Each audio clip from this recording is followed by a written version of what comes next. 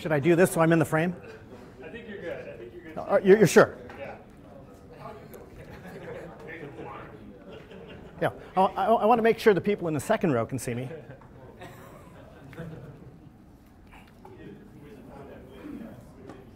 So how, how do I pronounce your last name? Official. Fisher. Okay. Just, just take a look. Okay. All right. Uh, so we're gonna get started. Before we do, I just want to draw your attention to the whiteboard. Someone left a Dell power cord yesterday. So if you have a Dell, uh, check to make sure you have your power cord uh, because that might be yours. Was it, was it left in the downstairs room or the upstairs room? Which room? upstairs Downstairs. Okay. Downstairs. Okay. All right, uh, so we're going to get started with the after lunch session. So we have Randy Fishel. Uh, he's going to talk with us about the status of the DRM drivers in Solaris. So please go ahead. Why, thank you. So, um, yes, I'm Randy Fishel, uh, and I guess maybe what I should just go right into is do the fine sort of stuff that corporate particularly tells me that I need to do. And uh, we'll sit there, we may want to sit here for a while. Maybe I'll uh, ramble along. Uh, it was a really nice lunch, uh, decent beer. So uh, while I ramble along, you can look through this sort of statement before I move on.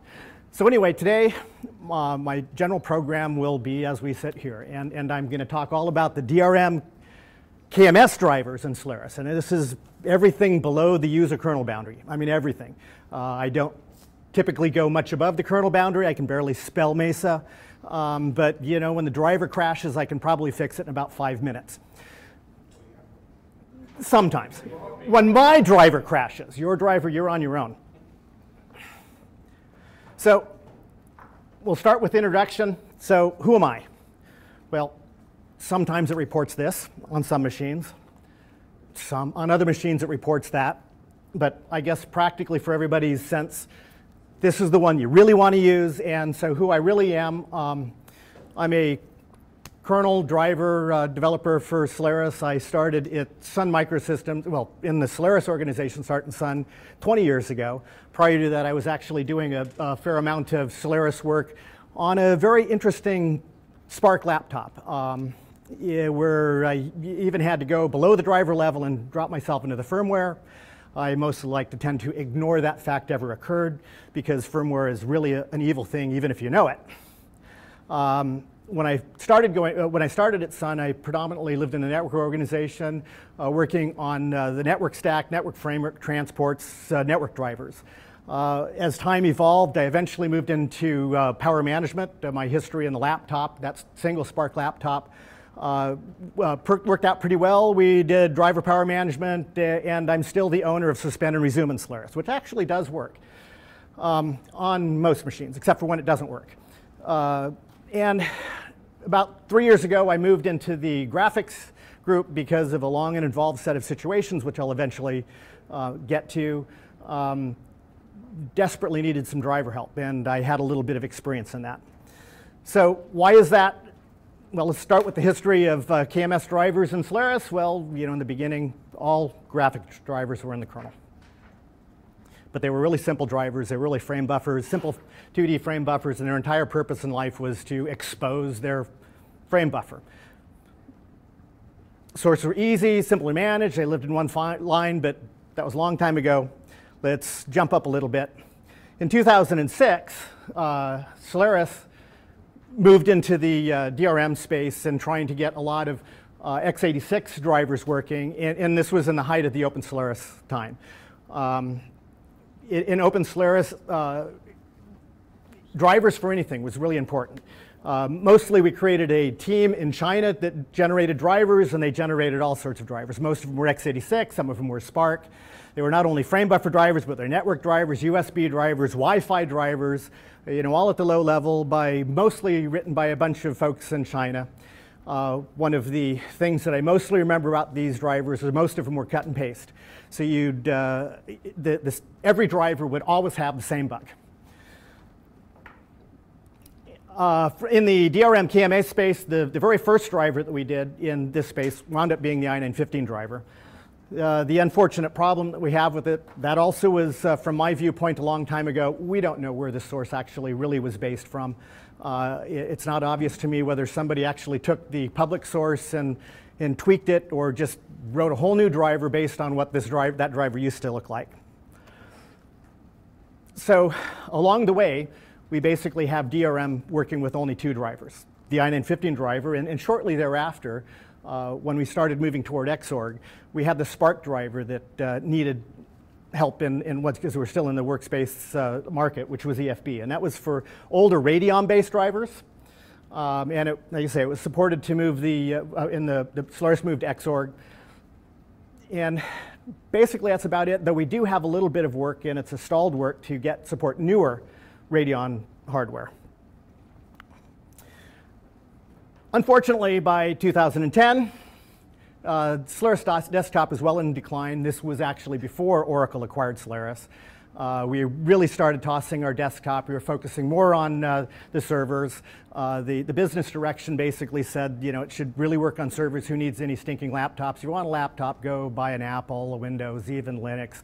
Uh, and, you know, certainly the Linux community uh, had a whole lot more uh, motivation and, and um, momentum to do this stuff than Solaris and is is both Sun and Oracle was not really making money on that. It sort of went into decline. After Oracle acquired Solaris, the uh, desktop pretty much went to the developer. Uh, they probably would have killed it, but then it becomes the, well, how are the developers going to write this code?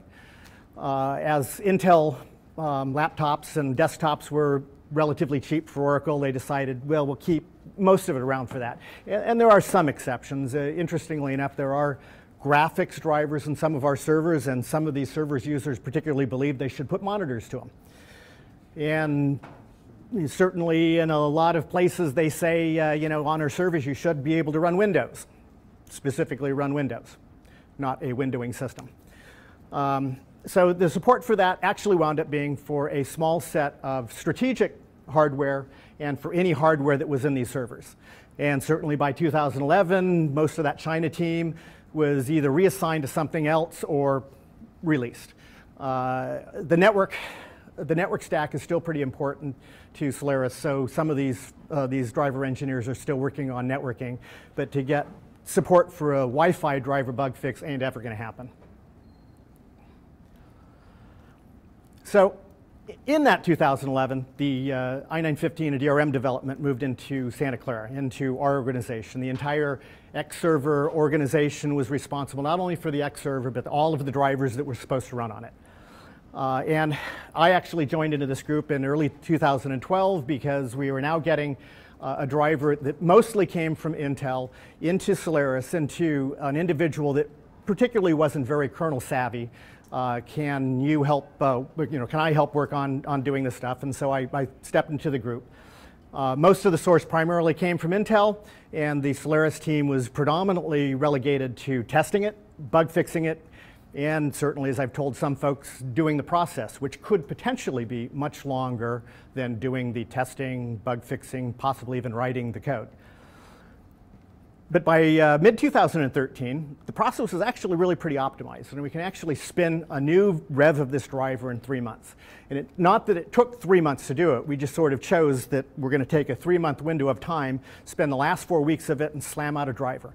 And we got to a point where the driver is very good, very stable, supports the Haswell stuff, and I'm certainly happy and proud to present that this laptop itself is running that driver.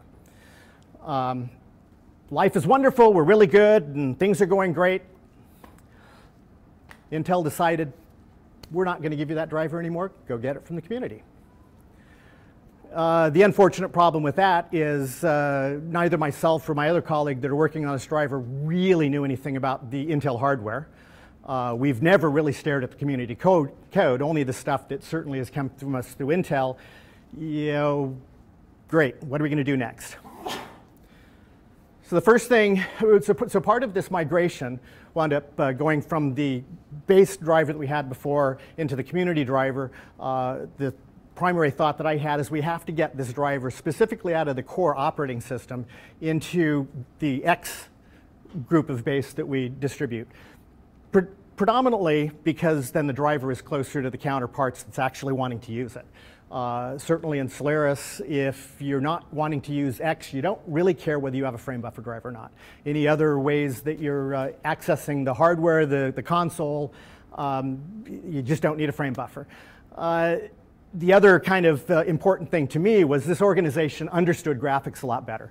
Uh, some of my favorite stories, every time we tried to integrate code, somebody somewhere would particularly ask me, Did you test this on SPARC? Yes, I'm going to test an i915 driver on a SPARC machine. You find me one that's got it, and I'll test it. Um, and the other part of it is Oracle basically shut down Open Solaris. We closed the source again. And this is coming from the outside. The, the, best way that I'm going to be able to actually share the work that I'm doing is putting some place that we actually share, and we share our X source. So by early 2015, all of the all of the DRM drivers were then moved into the X consolidation, and by April, this, this small team of us, this whole whopping two of us, started to uh, work on the community source port. So let's talk about the status of the current driver, or the, the drivers. Now you say the current, the current driver is uh, fully supported up to Haswell processors, and, and uh, I have a Sandy Bridge here that's working great. Uh, Alan has a fine Arrandale that's sort of working fine. I've got a Haswell in my machine, in, uh, Haswell test machine in my office that's running a 1920 uh, 1280 1912 whatever 1200 monitor and a 4K monitor at 3600 and I toss just about everything at it and it happily runs except for when Solaris itself crashes.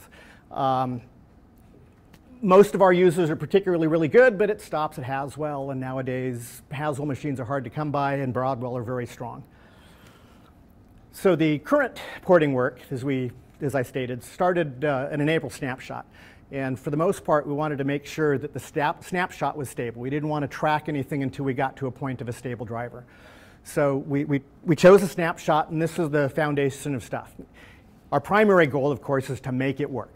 If it doesn't work, it has no usefulness, and you know, do whatever is necessary and possible to make this sort of work. But a secondary goal is I really would like to share some aspect of the work that we do back.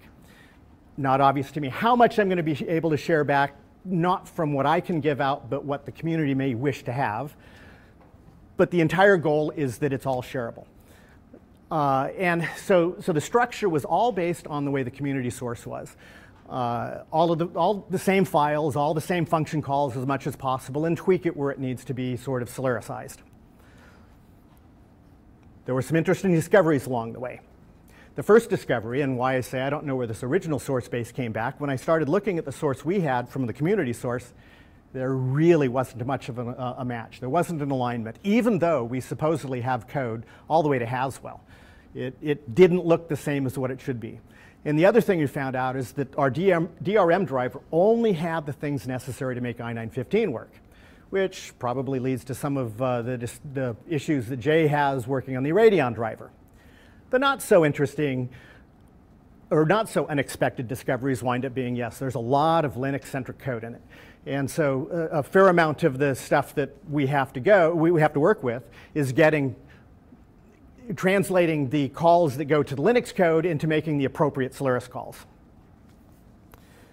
But we actually have a fully working driver to, to use as a reference, uh, which, which actually is great. And and so anywhere that it made particular, particular uh, calls into Linux, we can uh, work that out. And it really made it quite easy to get to the point of what are the proper translations in it. So as of September, DRM is pretty much mostly ported. Uh, the, the driver loads, though, as I've mostly told folks, is that a loading driver basically only means that the entry points are good and there are no unreferenced symbols. There's still a fair amount of cleanup to be done because in the course of the porting, we've made some uh, decisions what we're going to work on, what we're not going to work on, and, and you know, some basically so some stuff that would have to be deferred in some way, shape, or form. Pieces that had bigger components that would require translation layers was deferred to be done all at once rather than piecemeal. Um, and there's a fair amount of Solaris-centric code in here, but what we've mostly done is contained it in wrappers. So we've added about a half a dozen files into this driver set that describes the entire Solaris interaction with the driver. Um, and then there's a handful of files in that structure that just really aren't feasible of porting. Uh, you know, for example, DRM driv. There's just no way that these two files are ever going to look the same. So we, we sort of have our own. uh, and you know, very Solaris-centric, but it sort of works. And then there's a fair amount of unimplemented components. Even though Solaris does support scatter gather, I haven't wrapped my head around how we translate between the scatter gather, gather in the driver into the way Solaris wants to see it. And as the previous driver didn't do scatter gather, we basically decided that's a good baseline, we can do that work later. As far as i915, it's mostly complete and it compiles clean. And I don't recall whether there was a line in the other one. Both the DRM and the i915 driver compile clean, no errors, no warnings. Uh, so we've actually extracted all the warnings out of that. And along the way, there's some, been some interesting discoveries, and probably will be the first set of code that I contribute back to the community. Is yeah, there, there's some things in here that are just a little bit out of whack. That uh, you know, sort of like Martin's uh, braces thing. If I, I, I'm guessing that if you looked at the warning, it said statement not reached, and if you'd have looked at that warning, it would have said, "Gee, duh." Uh, one of the ones that I mostly remember in, in, the, in the code is I got the same warning, statement not reached, and I actually grabbed Alan, he was staring at it and scratching my head. Then he noticed there's a second semicolon at the end of the line. you know, at, at, the end of a return, you know, some function, semicolon, semicolon, and, and part of the thing, statement not reached, the next one was the closing brace. Where is the statement not reached? That second semicolon. But you know, so, so, the i915 has taken a little bit longer. It is a much larger driver, and it's a little bit more complex than DRM. Um, and from its perspective right now, there's still lots of cleanup to be done. But we're actually transitioning now into the phase of, of actual debugging. Um, and you know, hopefully in the not too distant future, we'll have a fully functioning current supported hardware driver based on this source tree. Some of the challenges with this, and it might not particularly be very obvious, but memory allocation. Uh, Linux does their memory allocation and Solaris does memory allocation. For the most part, they do pretty much the same allocation. They just do it different ways. One of the most notable ones that I've talked about is the Solaris K-free, or KMem-free, takes two arguments. Not only the pointer that you're freeing, but the size of the pointer. And this was mostly done for uh, Solaris memory optimization. If you tell it how big the pointer is that you're freeing, then uh, the free routine can optimize how quickly it gets back to a cache. And the other interesting thing is Solaris DMA predominantly deals with handles and properties on the handle.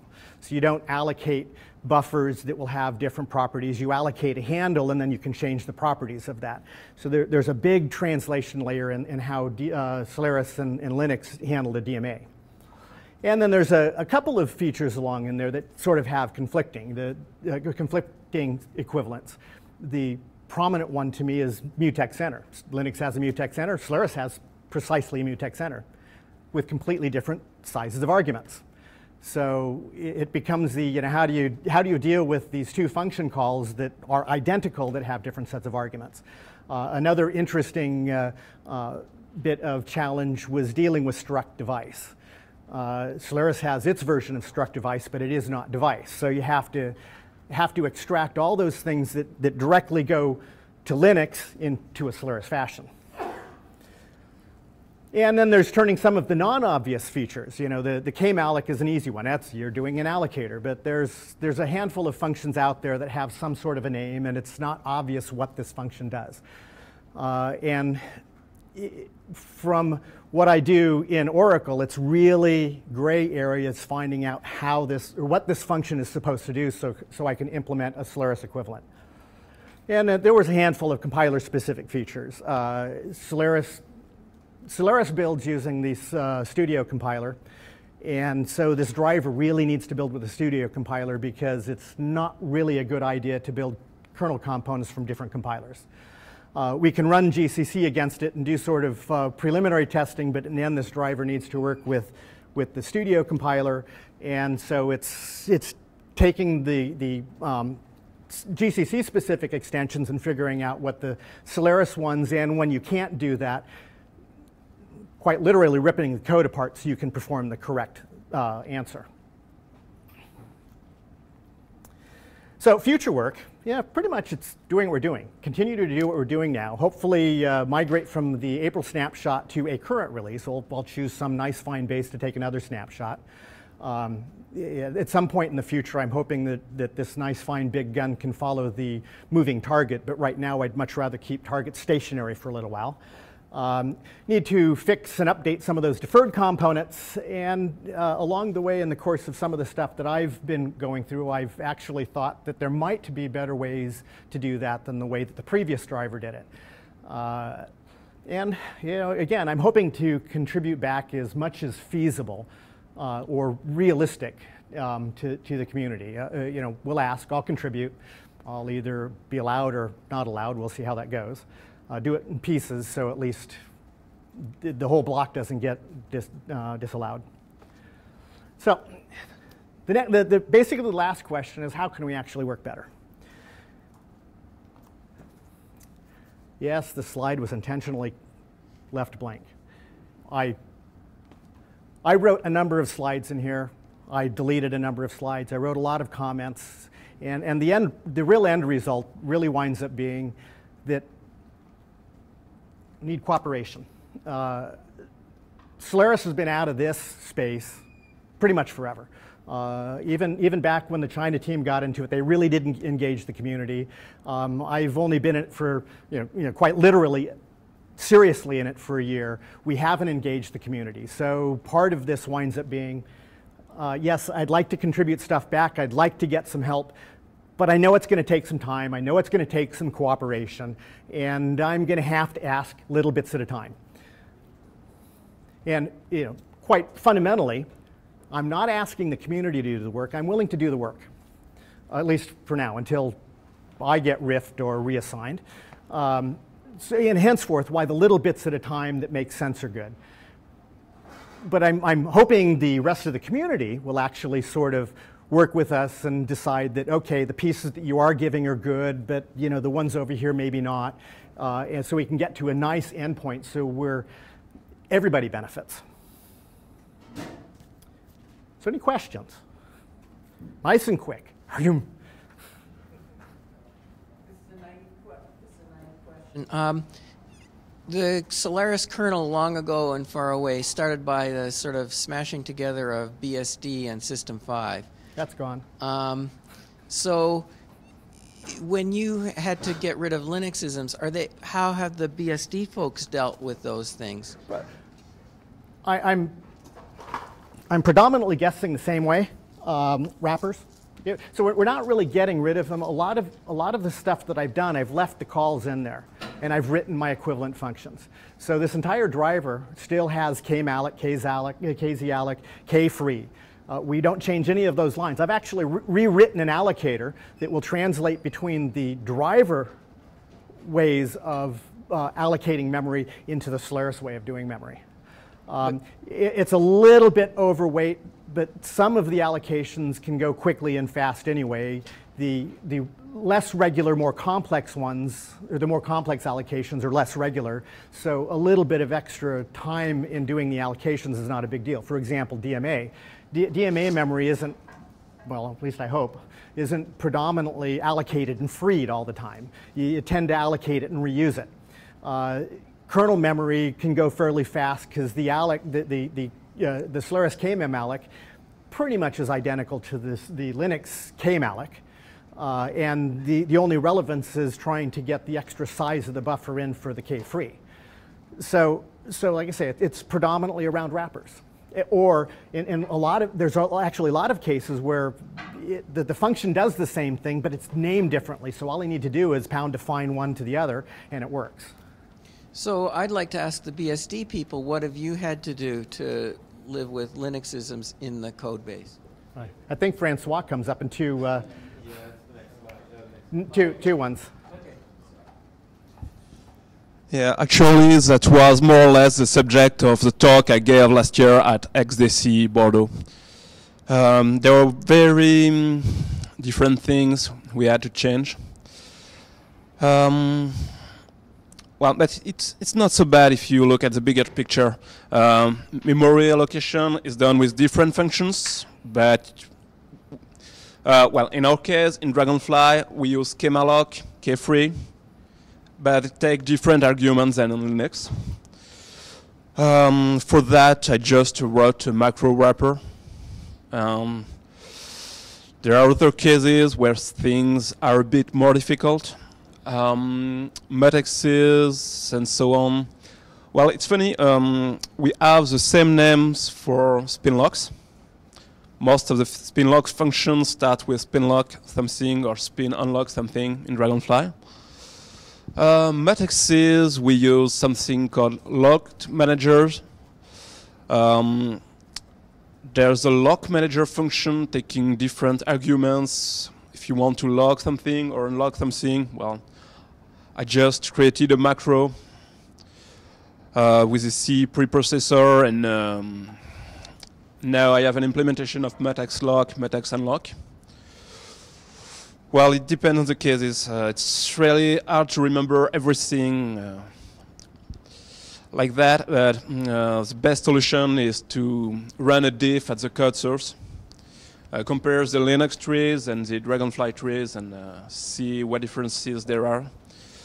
Um, in some cases, we had to rename variables. Um, the i915 driver likes to use pipe uh, as a variable name or as a structure name. I don't remember exactly which.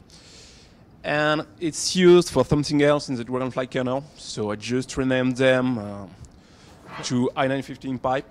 So, so one of the So- one of the common things that BSD and Solaris has is that the Linux driver actually uses a list implementation that is totally different from, from the OS list implementation. So we basically have our own list implementation. The sucky thing is, is that you have to include files as part of the driver that's going to use the Solaris list. And so it becomes now really interesting at making sure that you orient these list inclusions in the right order, or else all of a sudden you're trying to get a Solaris component trying to use the Linux list version.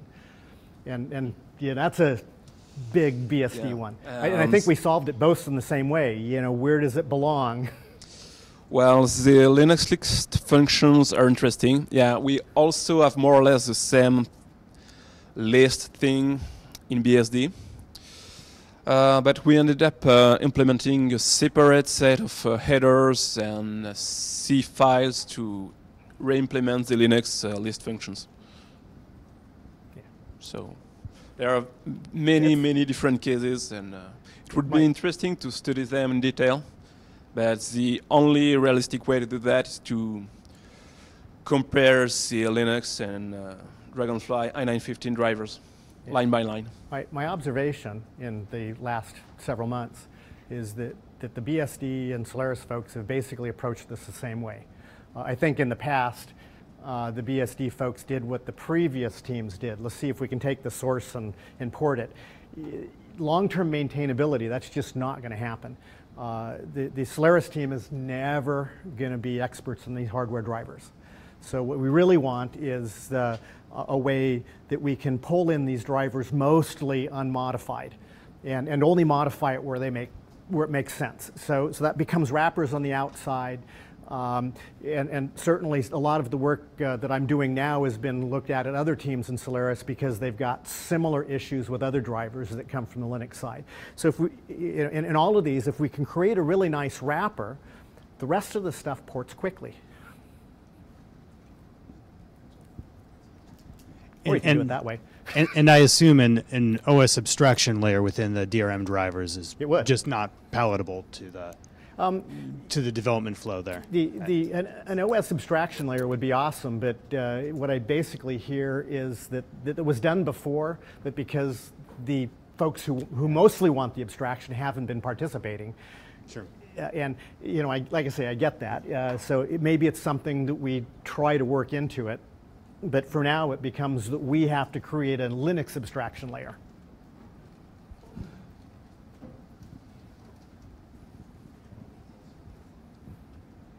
Cool. Any other questions?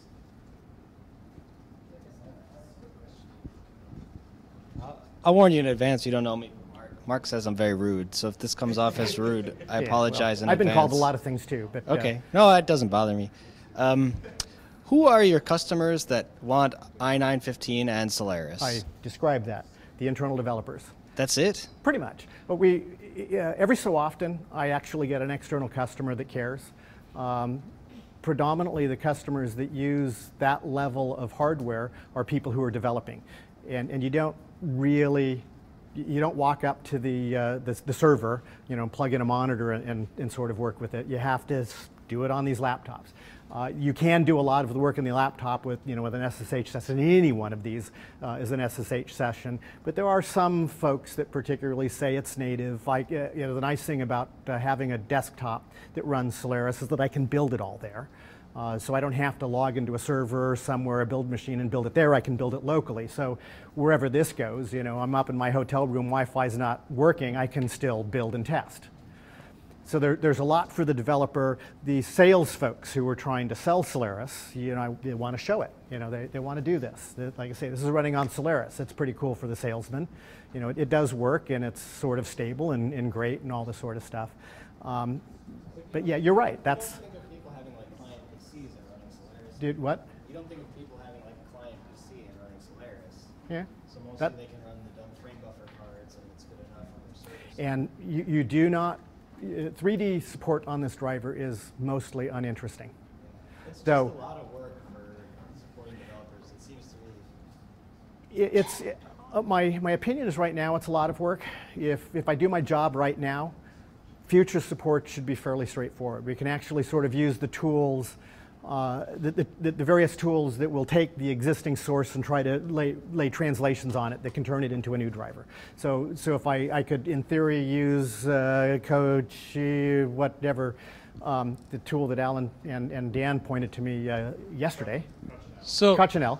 so we used to, I mean, the the DRM drivers used to live out of the tree, and they Yeah. used to have all these wrappers and things, Yeah. so that they would build on anything. four different BSDs Yeah. and Linux and all this stuff. And for the vast majority of the developers, which was people working on Linux, it was hell. Yep. Because it meant you had to make sure that you weren't breaking things on this thing that you didn't have, that you didn't have and that you didn't want. So, I mean, saying that it is less work if other changes are made is maybe a little bit disingenuous because it's just moves where the work happens, right? I mean, there has to be a certain amount of work to make this happen, and I don't think that the people who are trying to support Linux and who are trying to, you know, do all this stuff on there are going to be that interested in making more work for themselves because if you talk I- to them, they already have way too damn much work and. I, I would, I- you know, so I'd agree with that Yeah. because certainly inside of the Solaris organization, you see the same stuff. Um, as I mentioned, I used to work in power management. Um, the, well, actually, I still do. It's a sort of a little smaller cycle of my time now. Uh, power management on servers are very un- uninteresting. In fact, server customers don't want their machines to power manage. You don't want things to go off. Even, even if it's very trivial, you just don't do it. So what, you, what I tend to find even amongst the, the um, Solaris engineers, I don't want to put something into my thing that might cause my device to go off. You know, eh, and, and it's, it, it's the kind of thing, uh, is like I said the other day, is, is I also don't want to have to stand in line in security for the airport here today, but it's, a, you know, it's what I have to do. So, i- you know, similarly to this community, to the Solaris community itself, I do what I have to do. Uh, and I try to accommodate as much as I can, and it's at the point where I can no longer accommodate it, I say, this is where we stop. And, and, and yes, okay, so we might have we might have a lot more port, but certainly, as you point out, our customer base isn't as big. So, you know, put the pain there possibly. Um, you know, contribute some stuff back that at least is reasonable. You know, certainly if I find bugs in the core co- code, it's sort of my responsibility to give them back. Uh, if there was an abstraction that, that I basically say, well, this would really help Solaris, and you look at Linux, it make, you know, this only adds me work. Yeah, okay, great. That one's not going to happen, or may not happen. Who knows? You know, maybe if I convince somebody down the line and they say, well, gee, you're you're doing good. You're growing the stuff. We'll take that fix. uh, you know, it, it becomes we'll see what time tells there. Uh, it- in the, at the, the current time, we're interested in, and we're hot to make this stuff happen. Um, Randy, if I could follow up with a question for Ian. oh, yes. So, how much of, of that uh, concern with the, the wrappers just adding work goes away if you've got uh, continuous integration builds on all of the platforms that so that the Linux developers don't actually have to worry they'll get informed if the CI builds fail. Yeah, some some part of that, but yeah. Yeah, that might help some of it. I mean, the other problem, I, I've tried to, I, I'm kind of the opposite of him. I've tried to stay out of the kernel as much as possible. Um, so, so folks like Eric may remember better how miserable those those days were. But it seems like, yeah. well, it, it it seems like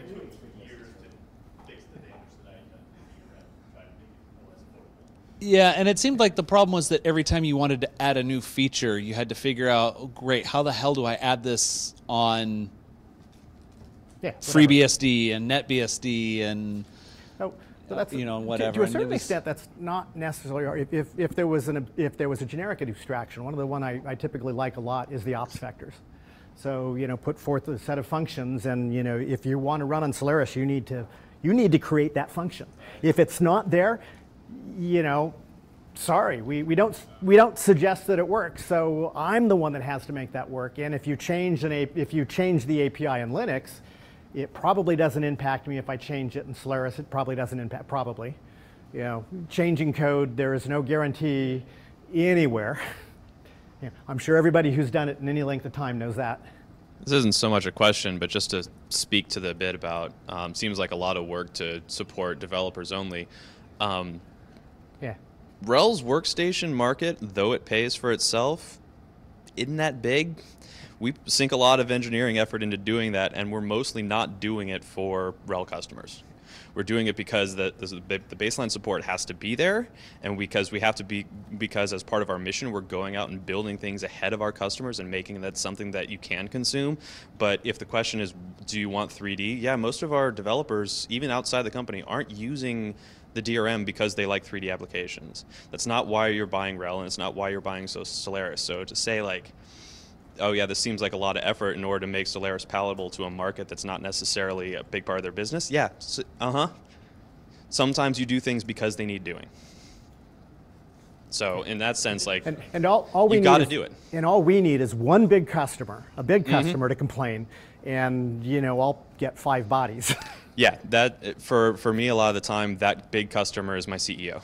Oh yeah, you've got this laptop and it's got to run Linux and I have to be able to take it to presentations. I should point out how much grief I've been getting lately because laptops that are available to Oracle, employ- Oracle employees run Broadwell, and this is the Broadwell support. We don't Mm-hmm. have it there yet. Hmm? Yep. I was wondering if um, you see many of the other DRM drivers coming under the same thing, the- where you're kind of sticking to Intel Uh, and it, it would be nice, and I, and I think that that's also a lofty goal. Uh, a fair amount of that, if, if the wrappers in DRM are right, then that, in theory, means the rest of the stuff is is easier to come by. And certainly, uh, a i915 and DRM that are clean, you have examples in the other drivers to how to make them clean. So, so the, the theory is yes. Uh, the practical reality is, is that only corporate will tell me what we need. I can walk underneath that. You know Does that? um, KDE or GNOME run on top of this, or Yes. Well, this one is GNOME. okay? This desktop is GNOME, Because that means there's a lot more than just. and uh, KDE will run, run there too. That's that's at a much higher layer. But there's a lot that, of. that's above Alan's. uh, That's you know, I'd say ask the guy in front of you, but he won't Okay. answer either.